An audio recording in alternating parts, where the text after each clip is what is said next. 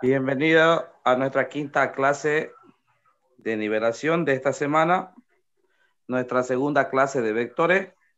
Ayer hicimos una breve introducción y hoy día vamos a continuar. ¿Ya? Tengan todos ustedes muy buenos días.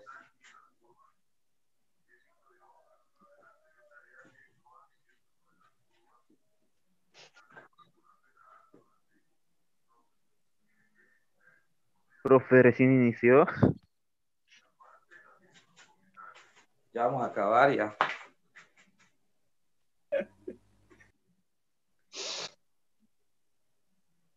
Es lo mismo de ayer, ¿no, profe?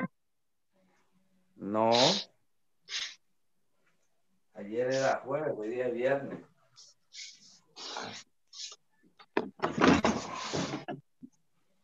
¿Qué dice? ¿Quién es el que dice que uno no se vuelve a bañar en el mismo río dos más de una vez?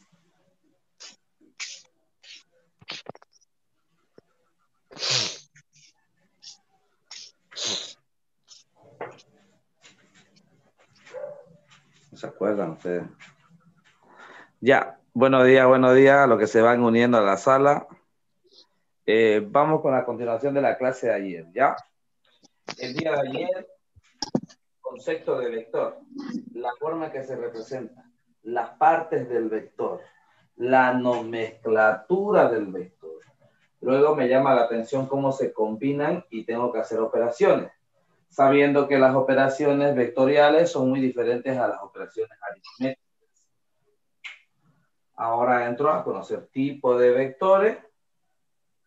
Luego habíamos dicho que existen cinco formas de escritura de vectores que yo lo he clasificado en dos grupos.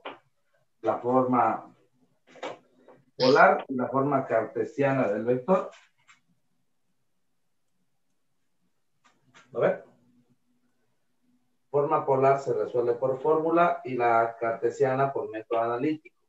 Empezamos haciendo un ejemplo de cartesiano. A ver cómo acá. Intentamos calcular el módulo e intentamos sumar Luego de eso nos fuimos a ver lo que era el vector opuesto y lo que era el vector aumentado o vector mayorado. ¿Lo ve? Ahí está. Entonces el día de hoy continuamos. Otro ejemplo. ¿ya? Vengo acá y les dicto lo siguiente. Ya, a su compañero, voy a aprovechar para recargar mis marcadores. Ya siempre me olvido. Ahí están entrando. Aguántenme un ratito, vamos a recargar.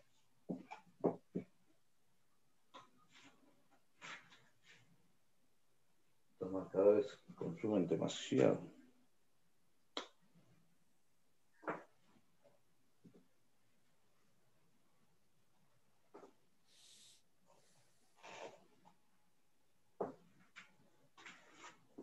No. Ya.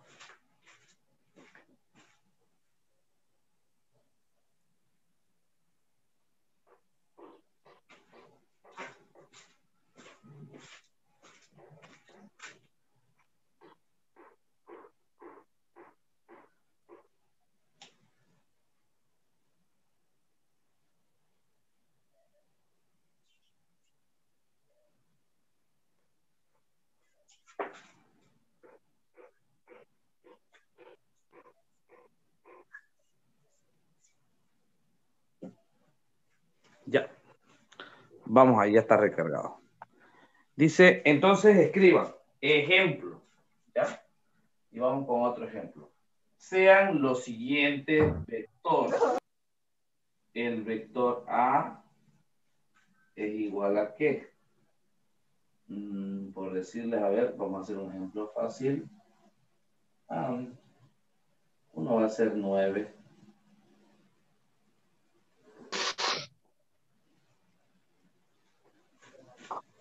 Ejemplo, el vector B.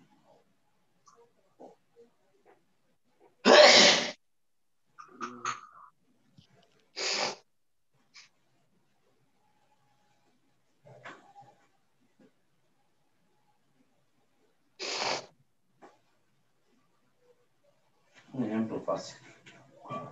hallar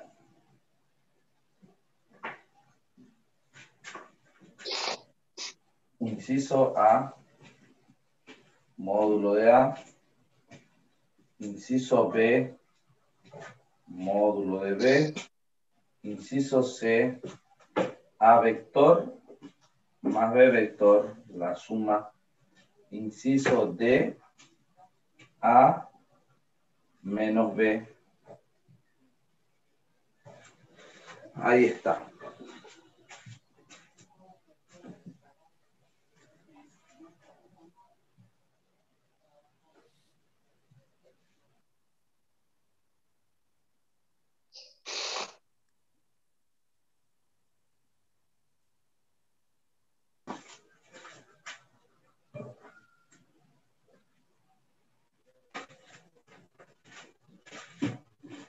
Ahí está la orden.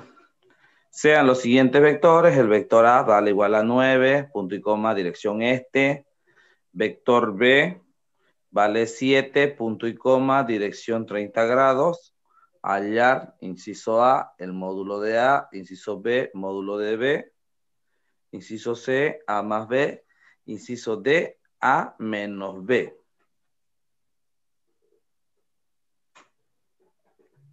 Ahí está.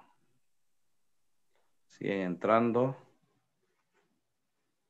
Y dice, a la hora de resolver una operación en vectores, lo primero que yo me fijo previo a resolverlo es cómo está dada la orden.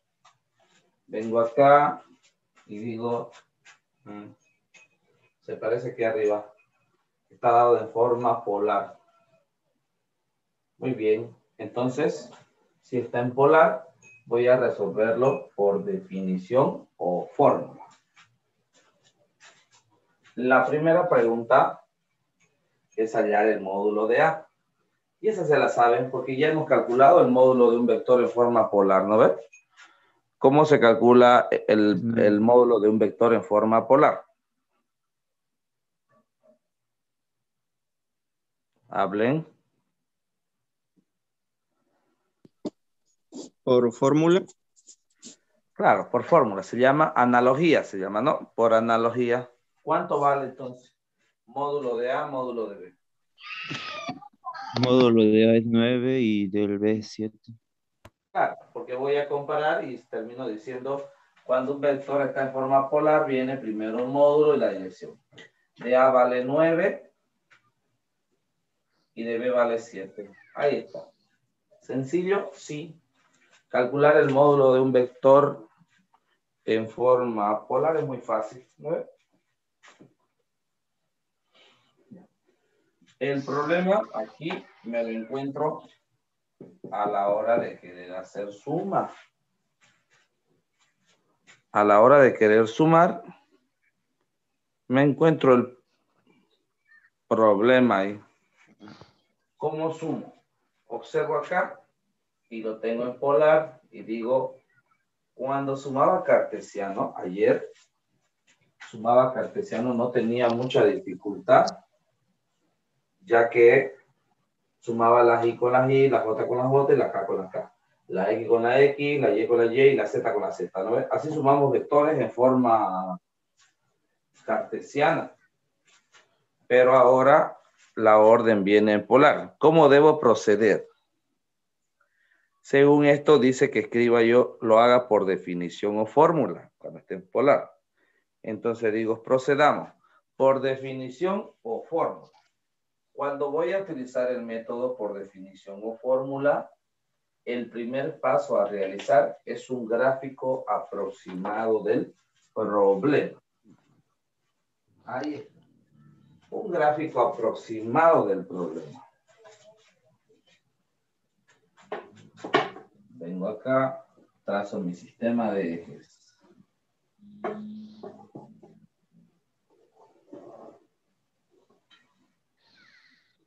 Para mí esto va a ser X y para mí esto va a ser Y. Ahí está. Ahora, tengo que intentar representar los vectores. No estoy en método gráfico, así que voy a tener que hacer un gráfico aproximado. Bueno, si quieres, tengo aquí, intento graficar el vector A. Un vector coplanario y concurrente se expresa a partir del punto 00 del eje como si estuviera caminando en esa dirección. En este caso la dirección es, y digo norte, sur, este y oeste. ¿No ves? Puntos cardinales. Dirección este. Ah, entonces me estoy yendo hacia allá. Observen, miren, si este vale 9 y este 7, este tiene que ser más grande en el dibujo. Por lo tanto, digo, ahí está. Eso va a ser para mí el vector A. Ahí está. He representado al vector A a través de un gráfico. ¿No ves? Ahora voy a hacer lo mismo con el vector B. A partir del punto 0, 0, como si estuviera caminando, voy a contar 7 unidades en dirección 30 grados. El ángulo de un vector en forma general, global, se mide a partir del eje positivo de las X, girando en sentido antihorario. Entonces digo 30, esto es 90, la mitad 45, un poquito más abajo de la mitad. A la hora de graficar, esto es 9, entonces 7 va a ser más pequeño. Y lo hago más pequeño. Ahí está. Tengo. Y el angulito aquí, desde el eje hasta ahí, es 30 grados. ¿No ves? 30 grados. 30. Está pintando muy fuerte mi motor.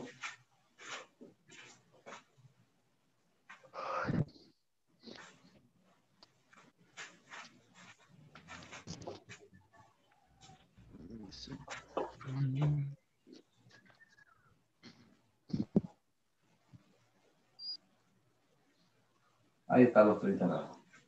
Perfecto. Ya tengo mis ejemplos. Tengo un gráfico aproximado. Ahora, digo, ¿dónde se encuentra la resultante de la suma de dos vectores? En este tema no hemos saltado la parte, como estamos en repaso, no hemos saltado la parte gráfica. Pero existen métodos gráficos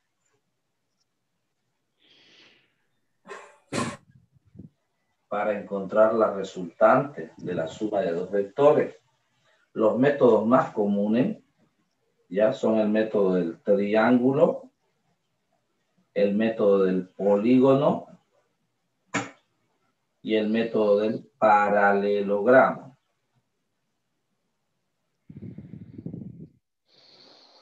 Ahí está. Por ahora no estoy interesado en hacer los métodos gráficos. ¿Por qué? Porque se hace con juego de regla, con un escalímetro, con compás, con transportador, ¿no es? Con todas las herramientas para poder graficar. Como este examen no es de gráfico, pero a mí me interesa la teoría. Sin la teoría no voy a poder avanzar. Entonces, de los métodos gráficos, repasamos el paralelogramo. Lo único que repasamos es el método de paralelogramo. Método gráfico, el paralelogramo. Borro esto y escribo.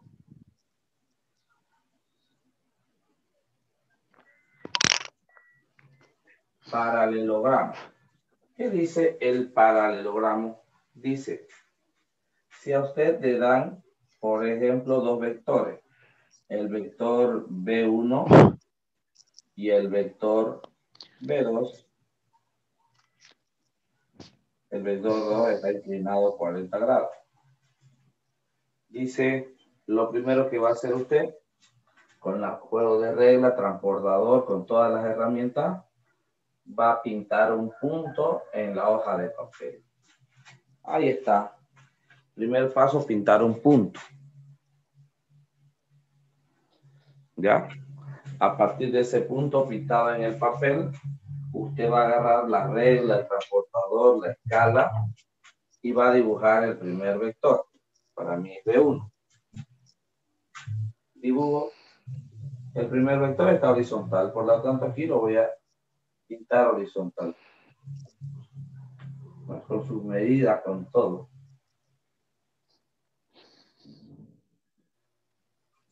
B1. Ahora, a partir del mismo punto, a partir del mismo punto voy a dibujar el segundo vector. Ahí está. Miren, el segundo vector está levantado sobre la horizontal 40 grados. Vengo acá, coloco mi transportador, mido el angulito y digo, ahí está.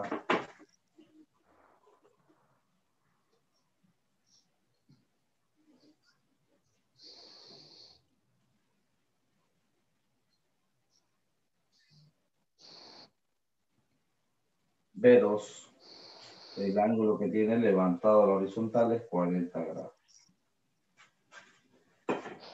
Ya está.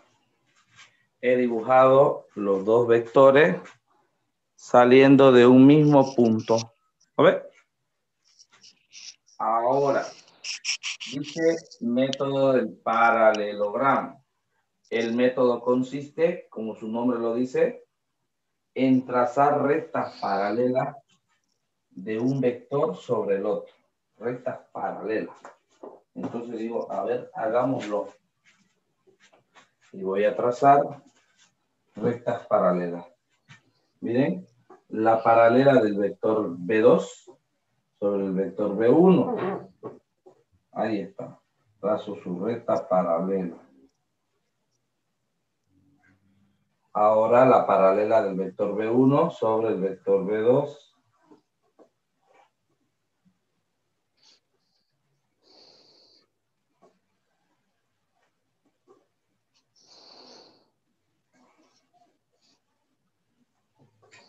Ahí está. Las rectas paralelas. A ver, ¿se ve acá? Sí, se ve algo, ¿no? Y digo yo, la paralela de B2 es esto, B2', paralela, B1, B1 paralela, ¿no ves? Ahí está, son rectas paralelas. Se me forma una figura, una especie de rombo, ¿no ves? Que es el paralelogramo de fuerzas. Ahora, uniendo el punto donde nacen los dos vectores con el punto donde se intersectan sus rectas paralelas, ahora yo voy a obtener la resultante. Se llaman métodos gráficos. Se llaman métodos gráficos porque todo se resuelve graficando. ¿A ver? Graficando se resuelve todo. No calculo nada no hago operación. ¿Cómo sé la respuesta? Aquí digo, vectorialmente hablando, vectorialmente hablando, R es igual a B1 vector más B2 vector. Eso es lo que vale vectorialmente hablando. Vectorialmente hablando, R vector resultante es igual a B1 más B2. Pero numéricamente hablando, ¿cuánto vale el módulo de R? No es número. Para poder saberlo, como no he hecho ninguna operación, solamente he dibujado, tendré que tomar mi regla y medirlo. Lo mido y esto dice salió 6.77. Ahí está resuelto. Así se aplica el método gráfico, el método del paralelogramo. ¿Se entiende? Solo lo medimos, profe, pero a mí me sale 3.5. Sí. Pero ni siquiera le he dado medida de esto. ¿No ves? y también no sé qué escala está tomando. A mí cada unidad, por ejemplo, 5 centímetros. Usted en su papel, seguramente cada dos cuadraditos es un centímetro. No le he dado medida, porque no lo estamos haciendo. Esto era un ejemplo. Sí, es solo un ejemplo teórico. porque ustedes en el examen no van a dibujar. Lo que yo necesito preguntarles a ustedes, yo les voy a hacer una pregunta. ¿Cuáles son, cómo se desarrolla el método del paralelogramo? Entonces usted va a responder, sirve para sumar solamente dos vectores, se lo hace graficando en papel, dibujo un punto a partir de ese punto dibujo el primer vector a escala, respetando el ángulo y todo, con regla, transportador, con todas las herramientas. Del mismo punto voy a dibujar el vector 2, respetando el ángulo, la escala, todo. Perfectamente dibujado. Ahora voy a trazar la paralela del vector 1 sobre el vector 2 y la paralela del vector 2 sobre el vector 1, formándoseme una figura de rombo la resultante se encuentra uniendo el punto de origen con la intersección de las rectas paralelas. Vectorialmente hablando, la resultante va a ser igual a la suma de vector 1 más vector 2. Numéricamente hablando, vale, y ahí esa parte lo mide. Pero nosotros no estamos inventando números porque obviamente no estamos dibujando. Ni siquiera tiene medida nuestra orden, ¿no? Solo hemos puesto 40 grados. Dicen, una pregunta. Sí. Eh, si, ahora si ya no es, digamos, 40 como en su ejemplo, sería 256, digamos, que es casi más abajo, ¿cómo se haría? Ya, ahorita vamos a responder. Ya, bien que ha preguntado. Ya, ¿algún otro, ¿alguna otra pregunta? Porque vamos respondiendo todas a la vez. Son métodos gráficos. Son métodos gráficos. Miren, en ningún momento he hecho ninguna operación para llegar al 6 Todo se hace midiendo ya. Midiendo. ¿Por qué avanzamos nosotros el método del paralelogramo? Pasa que este curso que están viendo ustedes y la materia dentro de la universidad cuando vean, cuando ingresen, se llama mecánica, se llama.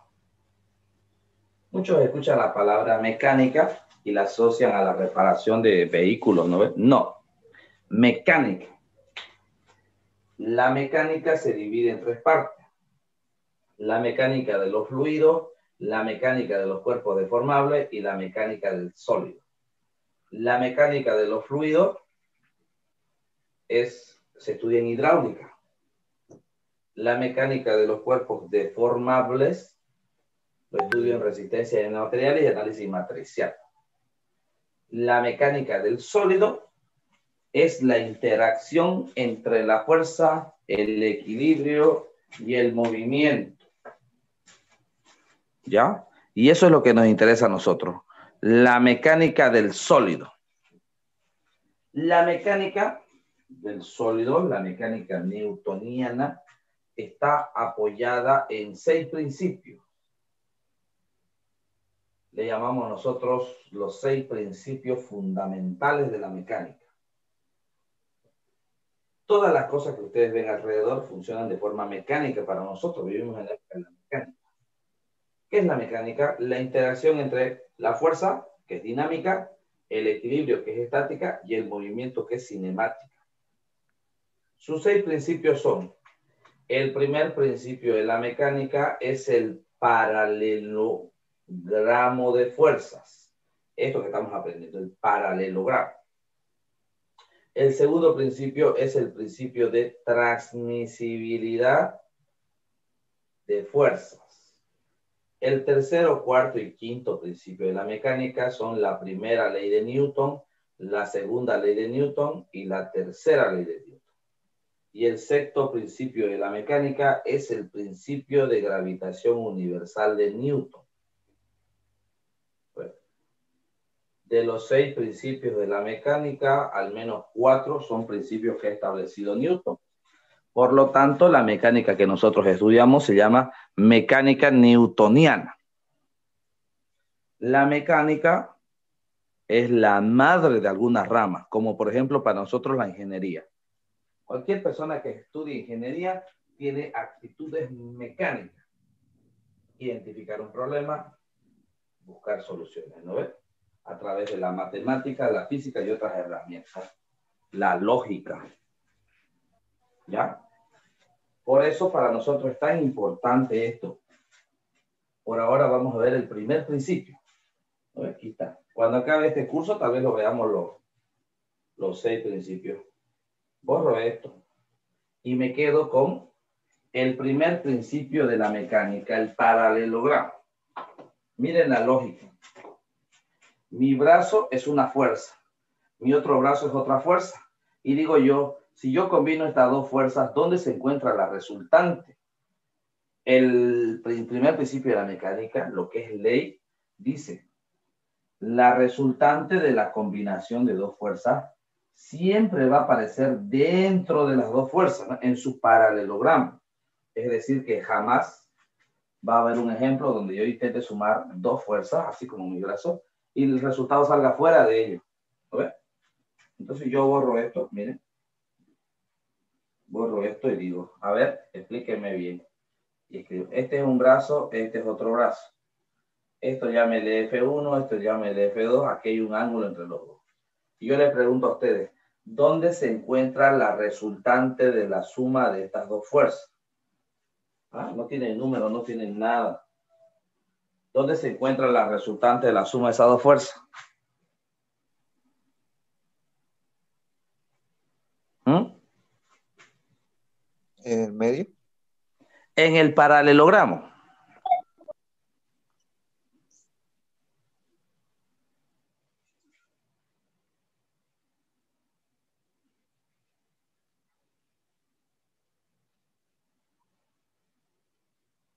en el paralelogramo. ¿Se entiende?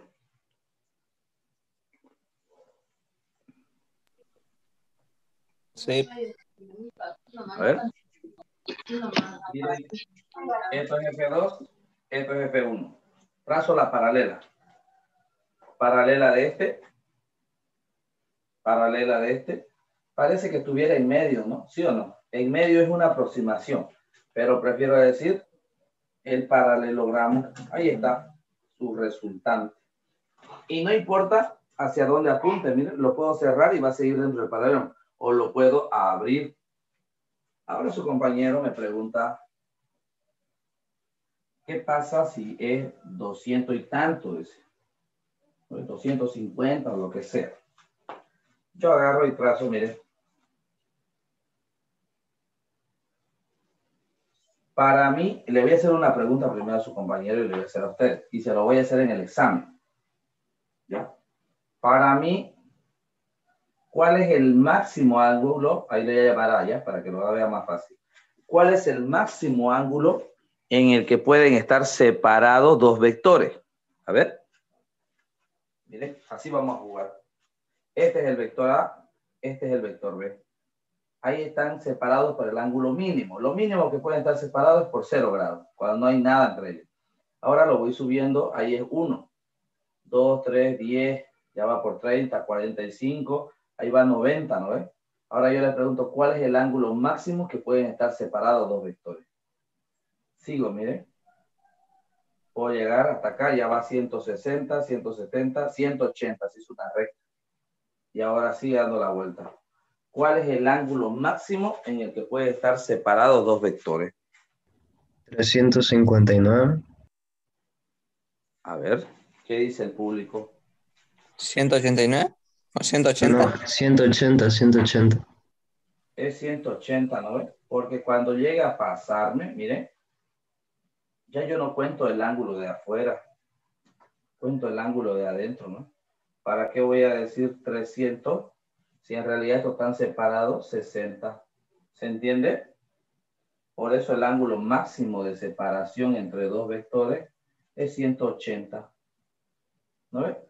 Porque cuando yo pase a 181, en realidad no estoy en 181, estoy en 179, ¿no ves? ¿Sí o no? Eh, sí, ¿no ves? El ángulo máximo de separación de dos vectores es 180. Porque cuando estoy a 180 y me paso un poquito, ya es 179. Ya está haciéndose más chico el ángulo de separación. Ya, la distancia máxima angular que pueden separarse dos vectores es 180. ¿Y cómo se sacaría el paralelogramo? Ahora, eso es el tema. ¿Cómo sería el paralelogramo? Vengo acá, como es una ley, se cumple para todo. Miren, esto es A y aquí está B. Vamos a hacer un ejemplo así, ¿ya? No, no muy agresivo, así. Y el ángulo está acá. Me he pasado de los 90, sí, ¿no ve? Más de 90. ¿eh? Pónganle, pongámosle el número, ¿ya? Pónganle 150. Ahí está. Haga el paralelogramo. ¿Dónde está la resultante? La ley dice que va a estar en medio, por lo tanto va a estar en medio. Ahora trazo la paralela de este sobre este. Es paralela, miren, es paralela. Ahora la paralela de. ¿Se forma el rombo? Sí, ahí está el paralelogramo. Esto sería B paralela, esto sería A paralela. ¿Y dónde está la resultante? Uniendo el origen con ambos con la intersección de las paralelas. Miren, ¿puedo hacerlo más agresivo? Claro, hagámoslo. Esto sería A. Y aquí bien, bien abierto. Es B. Y el ángulo es 165, por 170 pongamos. Ahí está. Exageradamente grande. Trazo la paralela de, de A sobre B. Y trazo la paralela de B sobre A. El paralelogramo se va apagando y ahí está la resultante más chiquitita. Y digo, espere. Cuando el ángulo entre los dos vectores es muy pequeño, la resultante es grande. Y cuando el ángulo entre los dos es muy grande, ya va a llegar a la máxima separación. La resultante es muy pequeña. Claro. ¿Por qué? Y aquí va un poco la lógica, miren. ¿Qué pasaría, yo les pregunto a ustedes, ¿Qué pasaría si esto fuera A? Y aquí también está B. Los dos están apoyados en el mismo eje, en la misma dirección. Ahí está A y ahí está B. Tracen el paralelogramo y sería la paralela de este y de este la paralela de este y la resultante está ahí. Si A vale 10 y B vale 2, la resultante vale 12. Cuando son cuando tienen cero grado, son paralelos, pero son colineales, se suman directamente. Es el ejemplo que yo le puse en la caja, ¿se acuerdan? Decía, si este tira con dos hacia allá y este otro tira con dos hacia allá, ¿cuánto es la resultante? Cuatro. ¿Se está aplicando el paralelogramo? Sí. Pero más que todo, ustedes van agarrando sentido común, ¿no? No aplican paralelogramo y dicen cuatro y le aciertan. Ahora, si esto jalara hacia allá con tres, y de aquí jala hacia allá con 2 y son colineales. ¿Aplico el paralelogramo? Sí. Y va a salir, la respuesta va a salir aquí, la resultante vale 1. ¿Y cómo saben ustedes que vale 1? Porque ustedes en su mente están sumando 3 menos 2, 1. ¿Sí o no? ¿Se aplica el paralelogramo? Sí. ¿Ya lo hemos venido usando? Sí. El ángulo mínimo de separación entre dos vectores es 0 grados, ¿no? cuando los están pegados son colineales, son misma dirección y sentido, apuntan hacia el mismo lado. El ángulo máximo de separación entre dos vectores es 180. ¿Son colineales? Sí. Pero están en sentido contrario, se restan. Y ahora cuando hay un ángulo cualquiera que no sea 0 o 180, los vectores se van a comportar así. Miren, aquí es menor a 90, aquí es mayor a 90. Y la resultante va cambiando de tamaño porque es una ley, en física para nosotros es una ley de la mecánica, que la resultante de la combinación de dos fuerzas esté en el paralelogramo de fuerzas del mismo. ¿No ve? ¿Sí o no? Pregúntenme si tienen dudas.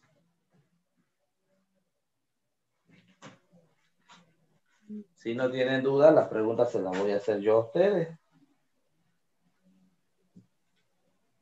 ¿No ve? ¿Se entiende o no se entiende? Sí, sí, sí, se entiende. ¿Se entiende? Es una ley de la física que la resultante de dos fuerzas esté siempre entre las dos fuerzas, no en medio. Entre las dos. Decir en medio sería que estaría la misma distancia de ambas, ¿no? Pero nunca sale a la misma distancia. Depende de cuál es más grande y cuál es más pequeño. Tal vez si las dos fueran iguales, estuviera en medio. Pero si esta es más grande, esta es más pequeña, va a variar. Entonces yo digo, entre las dos, ¿no? En el paralelogramo. Está en el paralelogramo. Borro esto. Borro esto. Borramos esto también. Ahora vengo aquí yo a mi gráfico y digo, quiero sumar A y B, A más B. Y está en forma polar. Primer paso, hacer el gráfico. Ya hice el gráfico, miren. A es hacia el este, mientras B 30 grados arriba. Y los dos nacen del mismo punto. Ahora yo les pregunto a ustedes, quiero hallar la resultante, la combinación de A y B. ¿Dónde se encuentra la resultante de la suma de estas dos fuerzas? En el paralelogramo.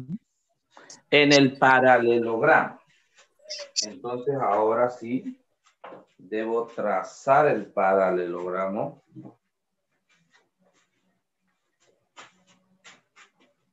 La paralela del vector A arriba.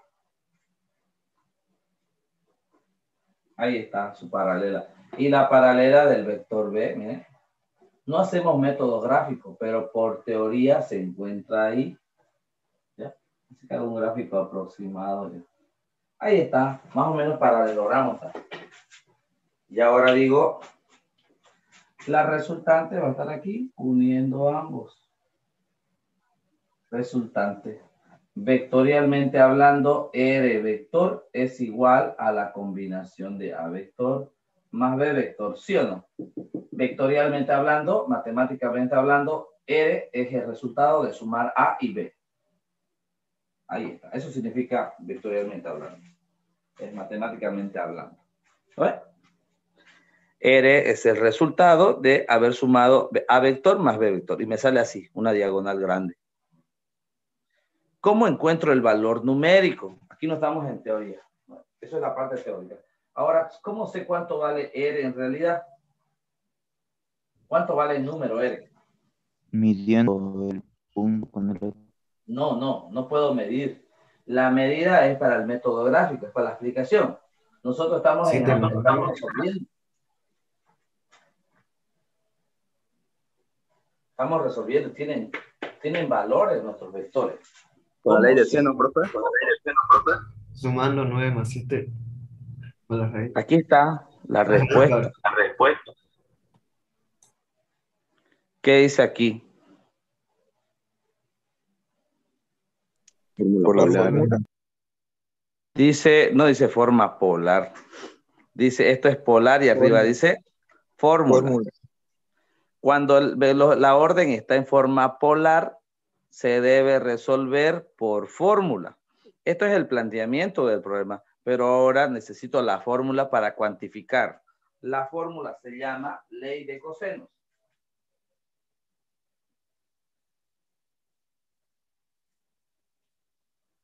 Ley de los cosenos. ¿Qué dice la ley de los cosenos? Dice, si usted va a combinar dos vectores, la resultante de lo mismo va a ser igual a la raíz cuadrada de el módulo del primer vector al cuadrado más el módulo del, vector, del segundo vector al cuadrado más menos el doble del primero por el segundo por el coseno del ángulo que separa ambos vectores. Ahí está.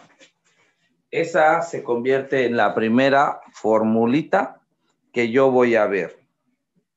La primera formulita se llama ley de los cosenos. ¿Para qué sirve para mí? Sirve para la suma de dos vectores. ¿No ves? Nosotros decimos, esta es la definición o la fórmula. Lo voy a hacer cuando los vectores estén en forma polar. ¿Se entiende?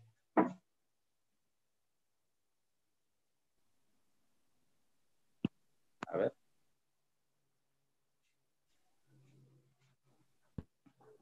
¿Cómo dijo, profe?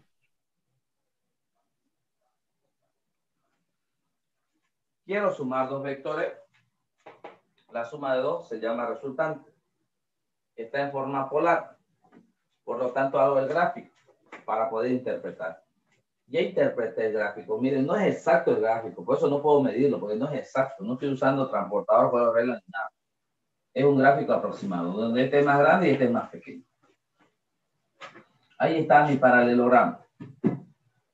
Por definición, la resultante se encuentra en el paralelogramo. Eso lo vimos por la ley del paralelogramo. Ahora, R va a ser igual a la combinación de A vector más B vector. ¿Qué fórmula utilizo para poder dar con el resultado? La fórmula se llama ley de los cosenos.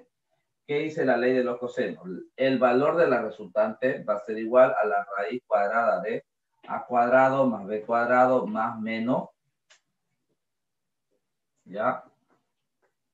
Más menos el doble de A por B por el coseno del ángulo que lo separa.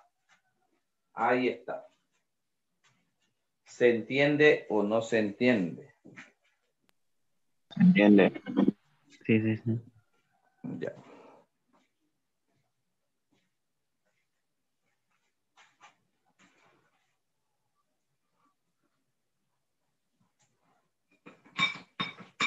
Vamos entonces calculen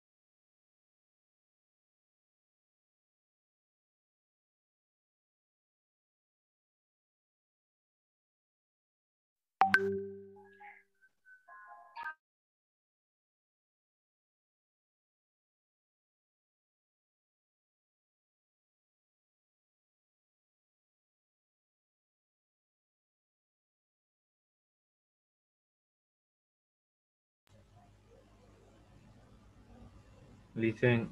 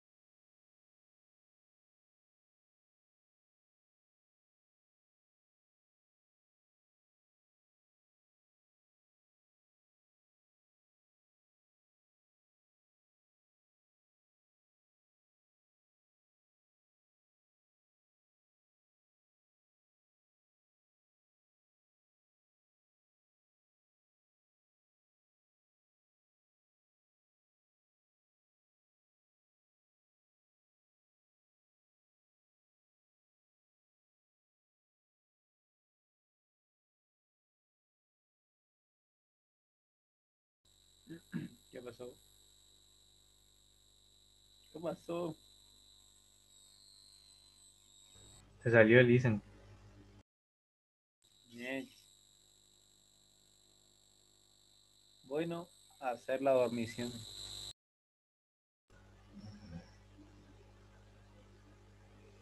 Vamos pues al Peña con nada. ¿Alguien presta plata? Alguien comparta su pantalla y enseñe, enseñe física. Meta, yo, yo, yo comparto.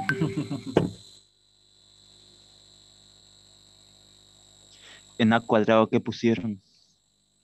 No me acuerdo. El 9. Yo agarré y, y me fui a tomar desayuno en, en plena clase y cuando volví ya no estaba el listening. Mm.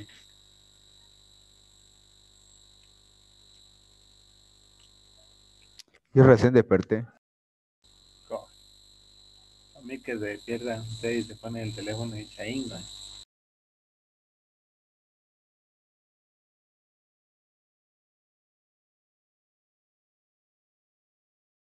Bueno, a jugar Fortnite.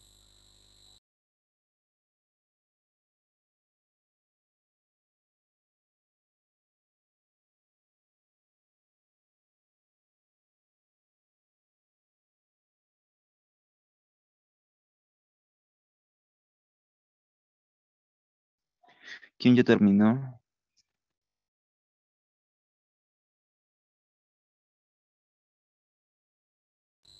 No sé, yo no terminé.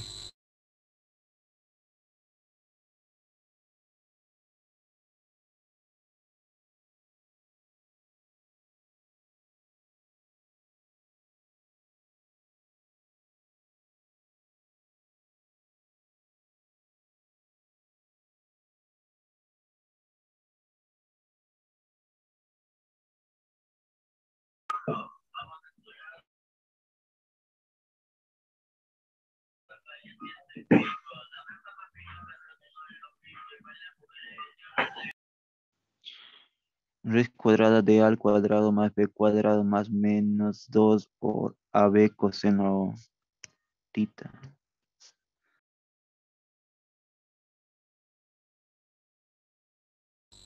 Ya sos bien.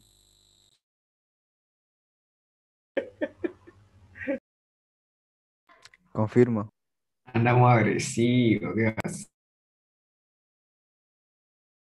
Última vez que levantaba, me levantaba la boca, chorro.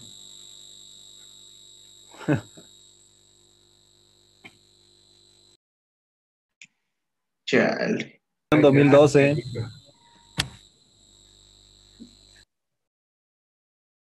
Yo no terminé el colegio. co- promoción en el SEMA. ese.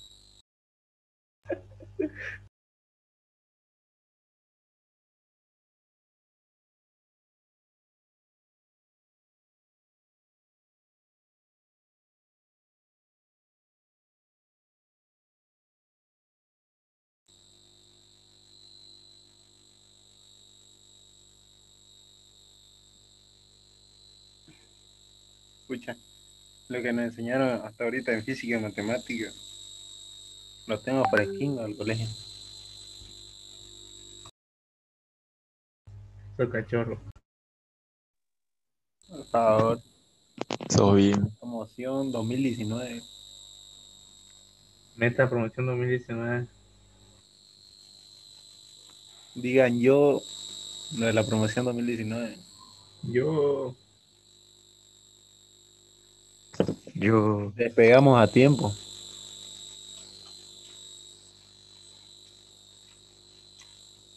Salimos cada lingua antes de la pandemia. Hola, hola, hola. ¿Me escuchan? Ya volvió. ¿Qué pasó? ¿Me votaron ustedes? Se va a desayunar, seguro. Ya nos dio nuestro recreo, profe. Se han revelado ustedes, me han votado a la sala. ya, escúchenme, está, está la internet de Tigo es más malo que más malo que Oriente en la liga, es así que hay que aguantar nomás. Cuidado. Eh, eh, cuidado, bro, cuidado. Eh, Ya. Vamos, por favor, continuando. No sé hasta dónde se me escuchó, porque cuando escuché ya estaba hablando solo nomás. Ya. Eh, escúchenme lo siguiente. Para problemas de forma polar, voy a graficar y voy a usar la ley de coseno. ¿Cómo se usa la ley de coseno? Solo debo reemplazar. El único problema que tengo es que vienen positivo y negativo. Pero igual vamos a negociar con ustedes. Cuando sea, cuando me pida calcular una suma en forma polar, yo voy a usar la ley de los cosenos en positivo. Cuando me pida realizar una recta en forma polar, yo voy a usar la ley de los cosenos en negativo. ¿Para qué es el gráfico? El gráfico es para darme cuenta cuánto vale tita. En este caso está facilito darme cuenta cuánto vale tita. Tita es el ángulo que hay entre los dos vectores. ¿Cuán- ¿Qué ángulo hay entre los dos vectores? 15 o 30. 30. 30. 30. Ya, perfecto. Escribo entonces, tita vale 30. Ahí está. Ahora, reemplazo. Miren, la resultante va a ser igual con positivo para la suma. La raíz cuadrada de A, ¿cuánto vale A? 9 cuadrado más 7 cuadrado más 2 por 9 por 7 por el coseno de 30. Ahí está. ¿Lo tengo?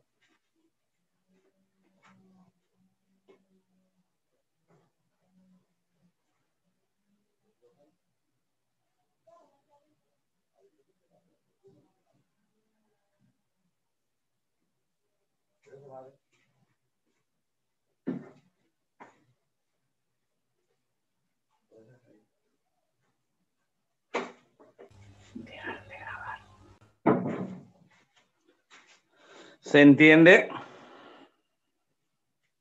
Sí, Lice. Sí. Sí, se entiende.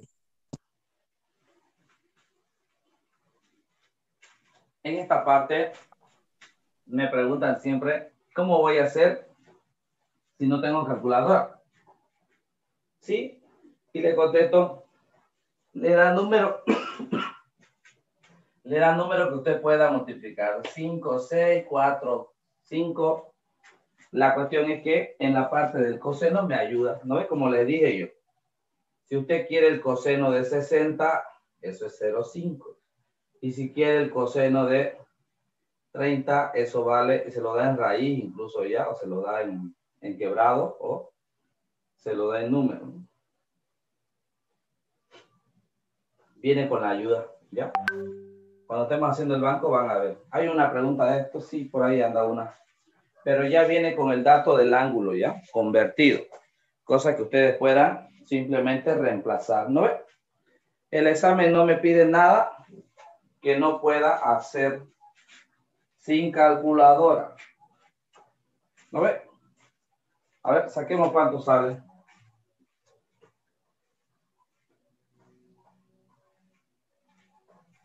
Como yo no voy a Ahora sale 255. A ver, sería raíz cuadrada de 9 cuadrado más 7 cuadrado más 2 por 9 por 7 por el coseno de 30.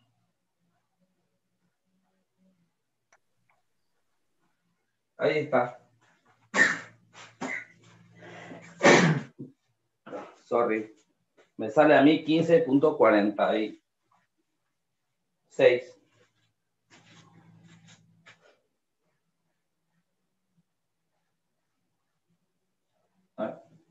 Es decir, que esto mide 15.46. Cuando esto mide 9, cuando esto mide 7 y hay 30 entre los dos, esto va a medir 15.46.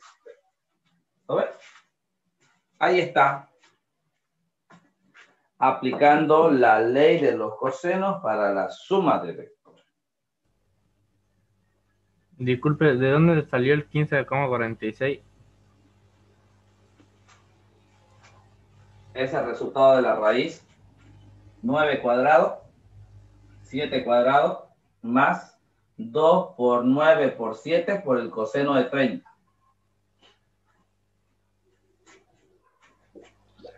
Hágalo, profe. Pero si lo estoy haciendo, ¿no ves? 9 cuadrado más 7 cuadrado más 2 por 9 por 7 por coseno de 30, 15.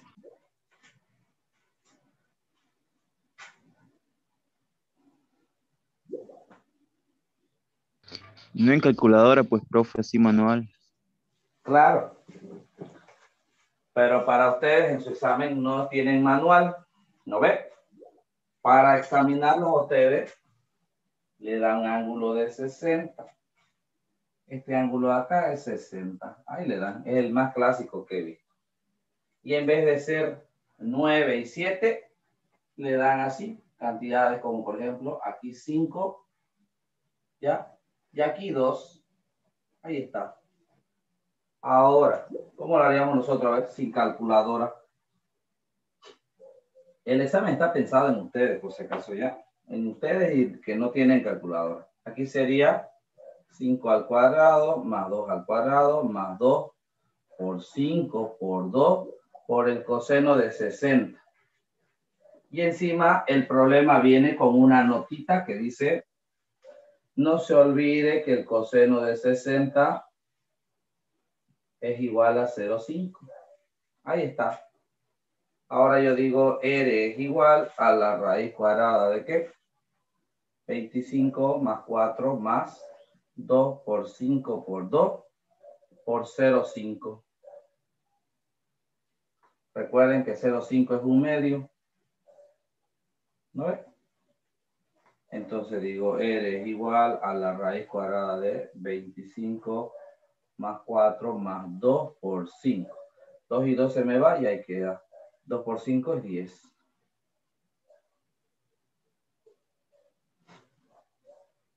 ¿Esto cuánto me da? R va a ser igual a 25, 29, 39. ¿Mm? El examen de ustedes viene pensado en ustedes. Viene con cantidades que puedan multiplicar y si necesitan algún valor de coseno o seno, ya viene resuelto. Viene, viene con esto. A ver, me voy a un ejemplo. Sí, miren, se lo muestro. Vengo acá, me voy a foto, galería, vengo a álbumes, esta captura. Me van a esperar un segundo que llegue, pero ya tengo que irme hasta octubre.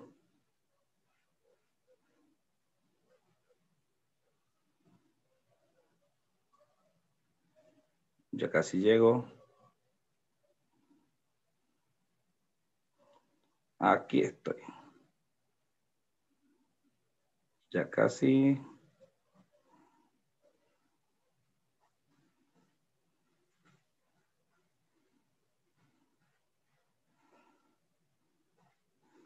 Aquí he llegado. Esperen que se aclare un ratito, ¿ya? El problema de Newton. Primera ley. Segunda ley. Aquí estoy otra vez. Un ratingo me van a esperar. Si quieren verlo, me van a esperar, ¿ya?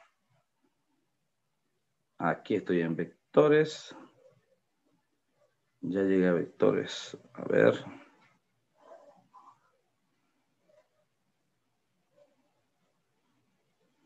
Más abajo.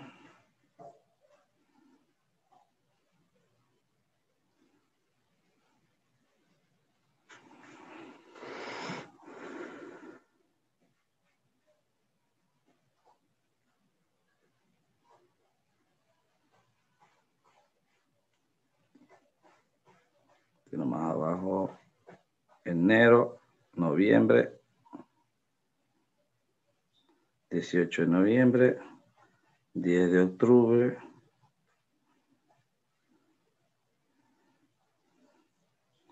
Tanto ha pasado.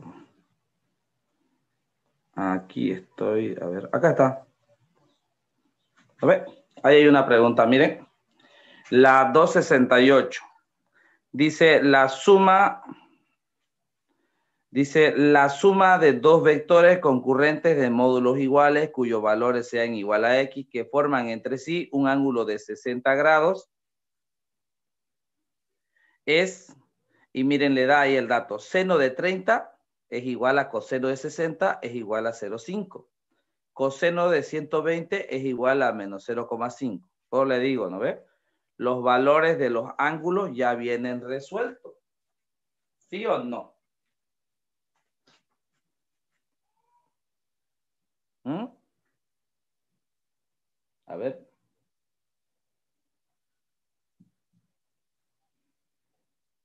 ¿Sí o no? Ese ejercicio se realiza de la misma forma en la que nos está enseñando ahorita. Ajá, ese es un ejercicio de cabalito de ley de los cosenos. Solamente que quiere confundirlo. Dice, mire, la suma de dos vectores, recuerden, dos vectores, cuyo módulo son iguales, dice. Entonces, los dos vectores valen lo mismo. O sea, X, cada vector vale X. El módulo es X. Y forman entre sí un ángulo de 60. Ahora, y escribe, mire, dos puntos, dice seno de 30 es igual a coseno de 60, igual a 0,5, ¿no? ya me da el dato. Y coseno de 120 es igual a menos 0,5.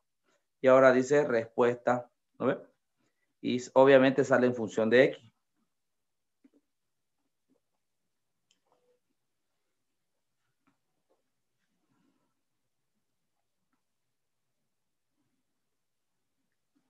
¿Se entiende o no se entiende? Hagámoslo, profe, eso. Sí, sí, lo vamos a hacer. Ya, lo vamos a hacer junto cuando estemos trabajando con el banco, ¿ya? Nos vamos a dar a la tarea como hicimos en atrapar todos los problemas de, ¿cómo se llama? Todos los problemas de unidades, ¿se acuerdan? De conversiones, uno por uno, así lo vamos a barrer el banco igual, no tengan pena, ¿ya? Más que seguro que lo vamos a hacer. Por ahora me interesa lo básico, la teoría, que se entienda de dónde sale qué, para que podamos ir al banco y podamos trabajarlo. ¿No ve? ¿Se entiende o no se entiende? Sí. Ya, volvamos acá a lo nuestro. Su compañero dijo, hágalo, profe. Le pusimos cantidades como si lo estuvieran haciendo ustedes, porque a ustedes se lo dan con números que puedan resolver. Ya. No le van a dar una excusa para decir no lo puedo hacer por el tema de la calculadora. Porque ya le dan los datos que necesitan de la calculadora. Ahora vengo acá y digo, ah, ¿cómo era mi problema mío? Esto era 9, esto era 7 y esto era 30. Lo único que tengo que hacer en la ley de los cosenos es reemplazar, miren, el módulo de A 9 al cuadrado, módulo de B, 7 cuadrado, más 2 por 9 por 7, por el coseno de el ángulo entre los vectores, que para mí es 30 grados. Ahí está. Y eso dio, ¿cuánto dio? ¿Se recuerdan? 15.47. 15,4. 15.46 era. Ahí está. Se puede, se entiende cómo se aplica la ley de los cosenos, sería, porque eso es lo que se quiere decir. ¿Cómo se aplica la ley de los cosenos en forma general? Primero, la ley de los cosenos se aplica para la suma de dos vectores. No importa el ángulo que haya entre los dos. ¿no? Al final y al cabo está entre 0 y 180. Pero la ley de los cosenos viene en positivo y negativo. Utilizo positivo para poder sumarlo. ¿Qué pasa cuando me pide la resta?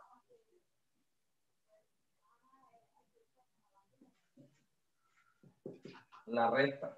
Ahora me dice A menos B. Voy a borrar, ¿ya? Ya calculé la suma. Voy a borrar.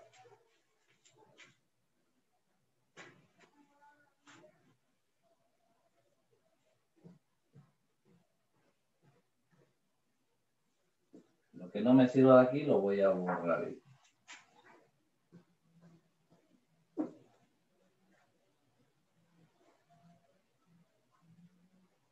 Ahí está. Y dice, calcular A menos B. Observo que los vectores están en polar y el primer paso que voy a hacer es un gráfico aproximado del problema. Un gráfico aproximado. Perfecto. Ahora me pide la resta. El concepto de resta en vectores no existe ya. ¿Cómo lo hago entonces? Hago a través de artificios matemáticos y la ley de los signos. ¿Cómo sería para ustedes de forma resumida? Si yo quisiera hallar la suma, tengo que hacer el paralelogramo, ¿no ves? Así hemos aprendido a sumar. ¿Cómo hago la resta? Cuando quiero calcular la resta de dos vectores, gráficamente hablando, la resta de los dos vectores representa la unión de las puntas de los dos vectores. Uno las puntas de los dos vectores y se llama resta. Yo le voy a llamar diferencia, ya, para no confundirlo. ¿Cómo se calcula la diferencia? Se, de aquí diría que D es igual a A vector menos B vector. ¿no? Eso es vectorialmente hablando. Numéricamente hablando, tendría que usar la ley de cosenos. Ahí está, ley de los cosenos. Y digo, R es igual a qué? Al módulo de A al cuadrado más B al cuadrado más menos dos veces A por B por el coseno del ángulo que lo separa. Para no confundirlo con la suma, yo le voy a llamar diferencia en lugar de diferencia. R para la resultante suma y D para la diferencia, ¿no? para no confundirme. Y recuerden que si para sumar utilizo la ley de los cosenos en positivo, ahora para restar solo voy a usar la ley de los cosenos en negativo. ¿No ves? Ahora eso es la resta. Yo le llamo D para no confundirme. Ahora para mí es la diferencia. ¿Cómo procedo? Igual que el anterior, reemplazando. D va a ser igual a la raíz cuadrada de A cuadrado, eso es 9 cuadrado más 7 cuadrado, menos 2 por 9 por 7 por el coseno de 30. Exactamente igual, solo cambió el signo. Entonces la diferencia va a ser igual a eso. Ahora vengo y tengo raíz cuadrada de 9 cuadrado más 7 cuadrado menos 2 por 9 por 7 por el coseno de 30. Ahí está. 4.57.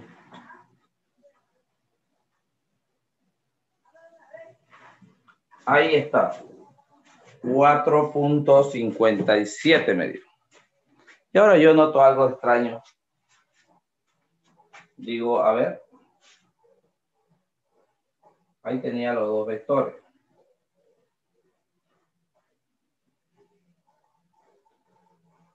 Esto era A, esto era 30 y esto era B. Hice el paralelogramo.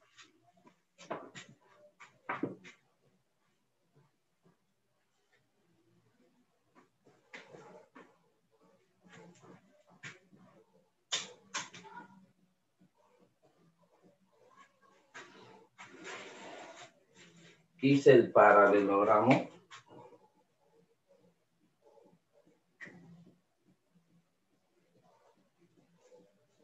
Y ahí está. Esta diagonal del paralelogramo era la suma. ¿No ves? Porque estaba cerrado. Y lo calculaba por la ley de los cosenos. Me salió 15.46. Ahora la resta, geométricamente hablando, para mí es la unión de las puntas de los dos vectores. Yo le he llamado diferencia. También lo calculo por la ley de los cosenos y me salió 4.57. Ahora yo les pregunto, miren, gráficamente hablando, ¿cuál de las dos es más grande? En el gráfico, eres más grande. En los números vale 1546. Tiene que tener relación el número y el gráfico. En el gráfico, D es más pequeño. Y en el resultado, D es más pequeño. ¿No ves? Tiene relación. Y eso es a lo que me voy. ¿Se entiende? Sí. ¿Qué le voy a pedir acá? A mí no me interesa que hagan cálculos largos o números grandes. ¿no? no le voy a poner este, este, este vale 19, este vale 27, para que no estemos complicando si no hay calculadora. En esta parte del examen, o le pone números pequeños o le pone variables de tal forma que puedan simplificar algebraicamente. Y cuanto al ángulo, ya viene resuelto. Coseno de 30 ya viene dado. ¿no ya sea en fracciones o en, decimales. Y siempre le pone ángulos notables, ¿no? Ya sea de 60 o ya sea de 45 o ya sea de 30.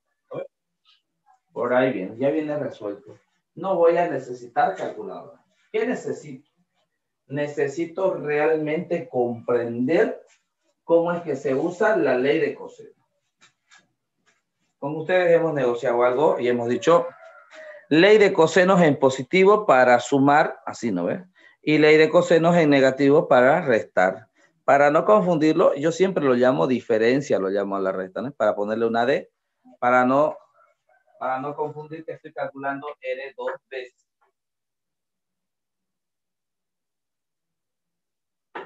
¿Se entiende?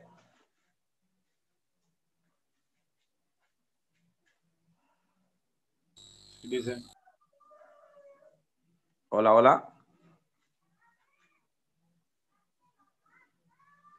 Ya se le acabó su batería. ¿Qué ha pasado? lo escuchamos, dice, ¿sí se entiende? Ahí está. ¿Ya? Perfecto. Ahora entiendo, miren. Para forma polar se resuelve por fórmula. Tanto para sumar como para restar voy a usar la ley de los cosenos. ¿Ya? Ahí está.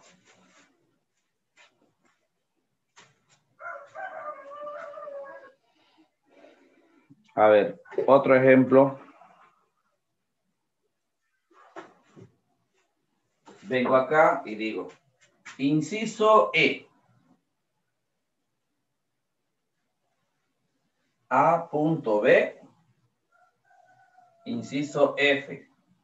A X B.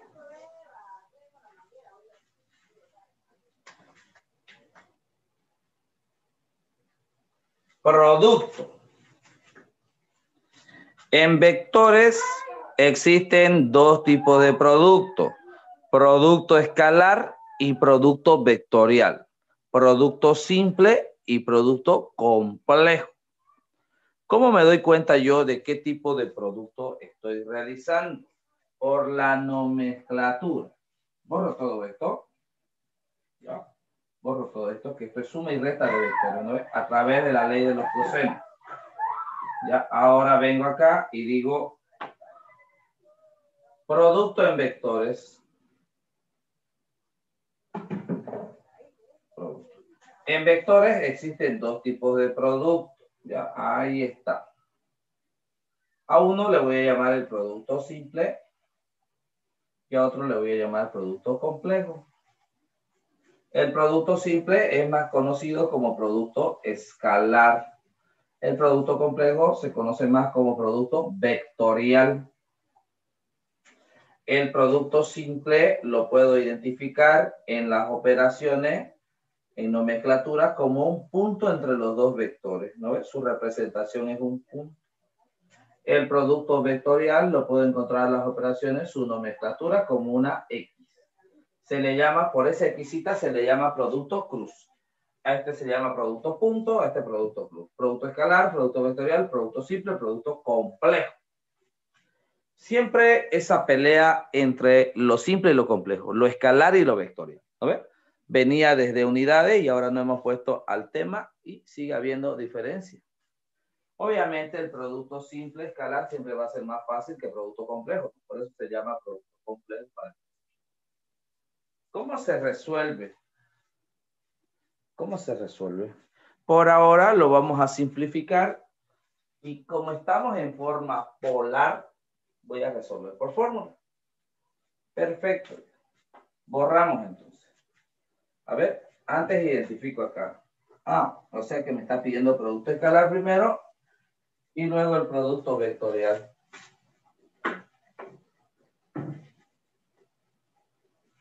Ya, ahora vengo y borro.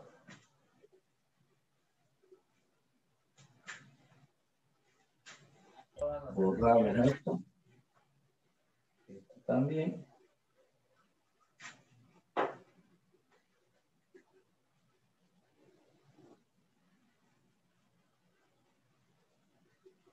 Ahí está.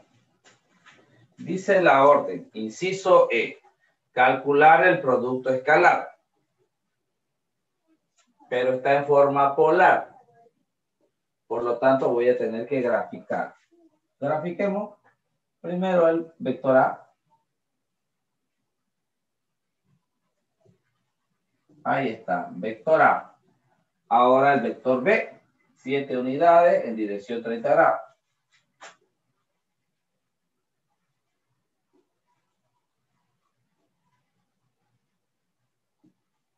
Ahí está, ese es mi gráfico, ¿no ve? Geométricamente hablando, el producto escalar es una proyección. ¿Cómo? Sí. Si yo quiero saber gráficamente qué representa, representa que es la sombrita del vector más pequeño sobre el grande multiplicado por el grande. Esa es la representación gráfica del producto escalar. Bueno, ¿cómo se calcula? Para poder calcularlo en forma polar necesito una ecuación. La ecuación se llama ecuación de producto escalar. La fórmula. Por definición o fórmula, el producto escalar es igual a, ejemplo, ejemplo, A producto escalar B va a ser igual a qué? Al módulo de A por el módulo de B por el coseno del ángulo que lo separa. Ahí está. Ahora, para poder emplear esta ecuación, solo necesito reemplazar. ¿Qué necesito? El módulo de A, el módulo de B y el ángulo que lo separa. Como están en el mismo cuadrante, para mí es fácil darme cuenta cuánto es el ángulo que lo separa. Para este ejemplo es 30 grados. Entonces vengo acá y digo módulo, a vector A, producto vectorial de A por, de producto escalar de A por B, módulo de A, 9. Módulo de B, 7. Coseno de 30. Y ahí está. Y así me sale el producto escalar. A ver. Que sería 9 por 7, 63 por el coseno de 30, que sale 53 raíz de 3 sobre 2. Es decir, 54.55.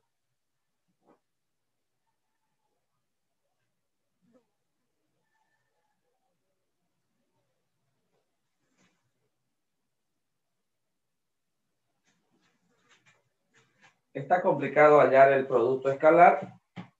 No. No. No está complicado. Y siempre su compañero me dice, pero yo no tengo calculadora. Claro, pero a usted le dice cuánto es el coseno de 30, ¿no? Se lo da. Y casi siempre le pones ejemplo de, o sea, o seno de, seno de 30 o seno de 60, ¿no? Cosa que usted sabe por matemáticas, está viendo ángulos notables, que eso vale un medio o 0,5. ¿No ve? Todas las cantidades que le ponen a ustedes no tienen nada que ver con calculadora. ¿Qué me interesa a mí? Me interesa que usted sepa reconocer la ecuación. ¿Y eso es pregunta? Sí, eso sí es una pregunta. Le dice, de las ecuaciones mostradas aquí abajo, ¿cuál es la ecuación del producto escalar? y obviamente van a haber varias ecuaciones y cada una va cambiando algo y usted dice, ah, esta es, yo la vi en clase. ¿No ve? ¿Se entiende? Sí. ¿Se entiende? Ya. Además que no está difícil, ¿no? La primera formulita que necesito es la ley de los cosenos para sumar y restar. Ahora esta es la segunda necesito la ecuación del producto escalar por definición. Esta es la fórmula que llamamos. Si se dan cuenta, cuando trabajamos en polar, solo trabajamos por fórmula. Así lo he generalizado yo. Porque para sumar necesito ley de coseno. Para restar necesito ley de coseno. Para hacer producto necesito el producto escalar. Ahora, para hacer producto vectorial también voy a requerir fórmula. Pero eso solo vale cuando están en forma polar. Cuando esté en forma cartesiana es otro el proceder. ¿no? Por eso lo llamé analítico. Si yo lo busco en los textos, no está así. ¿no? Al menos esta separación no la hace, por más que es evidente. Nosotros lo estamos generalizando por la cantidad de ejemplos que hemos hecho. ¿No ve? Ahora, ya. Ahí está el producto escalar. Apliquemos producto vectorial. Borro esto. Y digo otra vez, producto vectorial. Vengo acá y miren, la orden es el producto cruz o producto vectorial. Está en forma polar. Debo hacer un gráfico. Voy a borrar lo que no me sirve para este ejercicio. Lo voy a dejar tal cual está el gráfico normal. Ahí está el gráfico normal. Ahora, primero, la interpretación geométrica del producto vectorial. El producto vectorial es una coincidencia que el producto vectorial de dos vectores coincida con el área del paralelogramo que forman. ¿Se acuerdan? Para hallar la suma, para hallar la suma hacíamos un paralelogramo. Ahora no necesitamos el paralelogramo para hallar la suma, solamente para decir que toda esta área que encierra este paralelogramo es igual a qué? A su producto vectorial de ambos vectores. Coincide. Una coincidencia que en física 1 nosotros aprovechamos bastante. Por ahora, teóricamente, nos interesa decir que el área del paralelogramo coincide con el producto vectorial. Esa es la interpretación geométrica. Pero yo no quiero la interpretación geométrica, yo quiero el resultado. Para dar con el resultado debo utilizar la ecuación de producto vectorial por definición o fórmula. ¿Qué dice? Cuando usted quiera hallar a producto vectorial B, esto va a ser igual a qué? A multiplicar el módulo de A por el módulo de B por el seno del ángulo que lo separa. Aquí el ángulo que lo separa es 30. Ahora debo reemplazar y sería A producto vectorial B va a ser igual al módulo de A, 9, módulo de B, 7, por el seno de 30.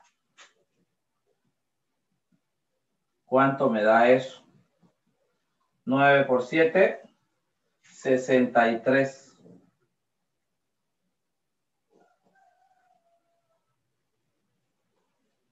¿No ve? ¿Sí o no?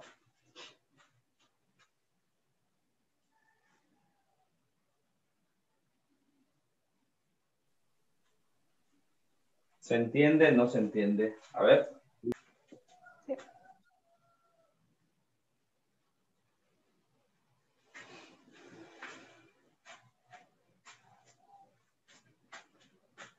Los escucho. Ahora tengo dos ecuaciones. La ecuación del producto vectorial y la ecuación del producto escalar. Son parecidas, ¿no? Claro, la del producto escalar es con coseno, mientras que la producto vectorial es con seno.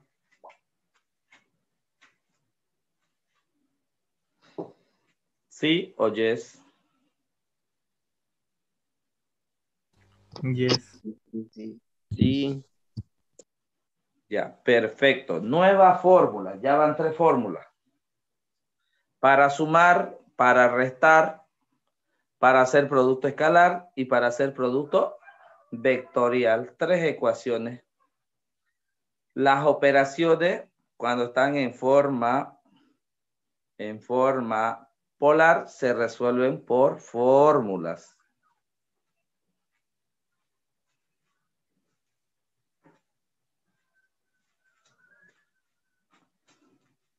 ¿Se entiende? Sí. Sí. Ahí está. Eso sería entonces. Miren, para un ejemplo que hicimos en polar, pude sumar, pude restar, pude hacer producto escalar y pude hacer producto vectorial. ¿Ya? Ahora, ¿puedo hacerlo en forma analítica? Sí, debería poder. Entonces, volvamos a lo analítico. Volvamos al analítico. A ver. Vuelvo al analítico. Voy a borrar, ¿ya? Les encargo las ecuaciones. La formulita la necesito porque se las voy a preguntar.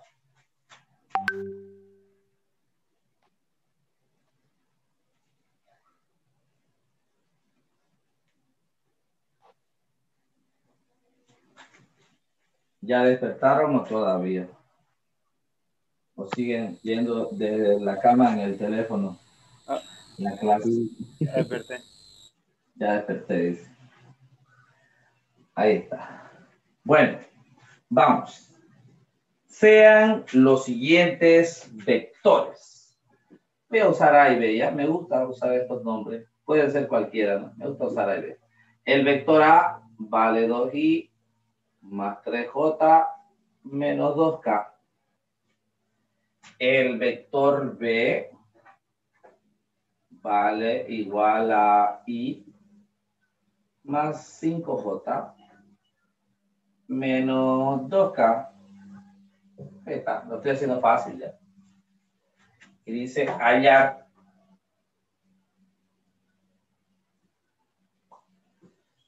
ah, ya está ya, ¿no? Estamos ahí, estamos con ustedes. Se me está rayando el disco. Y dice, inciso A.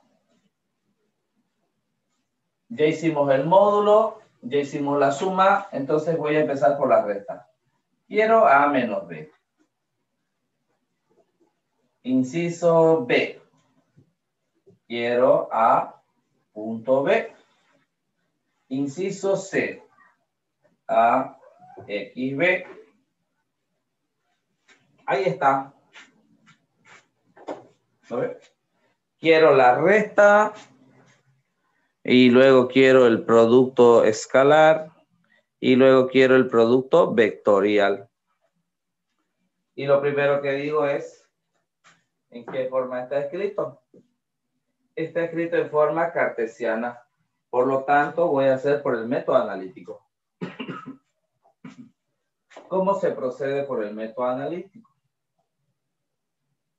Primero, ya quiero entrar a hacer la operación y recuerdo que no existe la resta en vectores.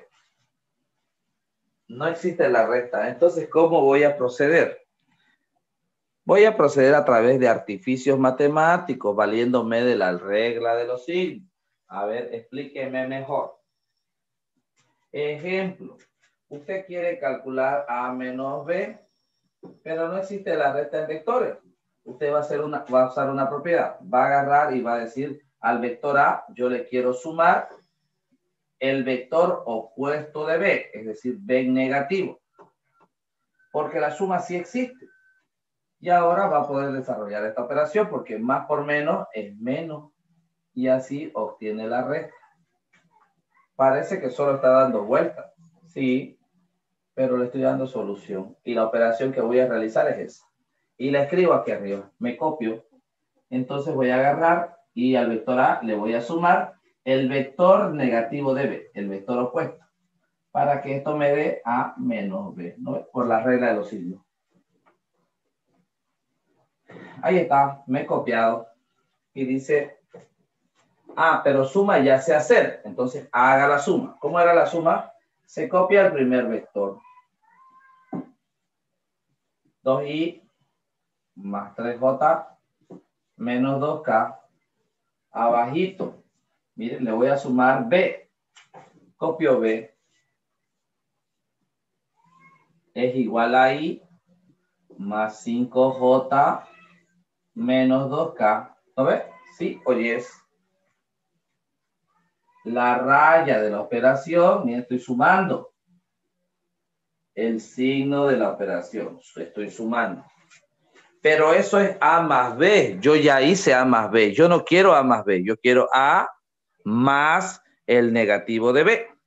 ¿Cómo obtengo el negativo de un vector? A ver, ustedes. Multiplicando los miembros por miembro.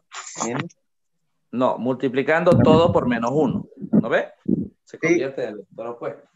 Entonces agarro y hago eso. miren medio. Y lo multiplico por menos 1. Menos 1 por B, menos B. Menos 1 por I, menos I. Menos 1 por más, menos.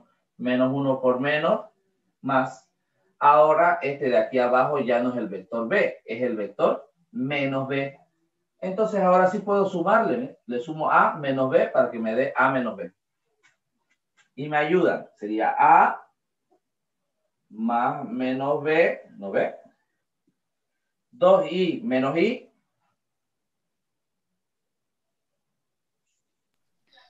Y Uno. Y 1. Más 3 menos 5 Algo. Menos dos. J. menos dos. menos 2j. Menos 2k más 2k Cero. Anul. Cero. se me fue. Cero. Cero. Y queda así. La respuesta me dio i menos 2j. Aquí ahora hago a menos b. Y me dio i menos 2j. Como es un solo vector, le pongo una raya arriba indicando un solo vector. ¿Pueden calcularle el módulo a este vectorcito? ¿Ah? ¿Pueden calcular el módulo?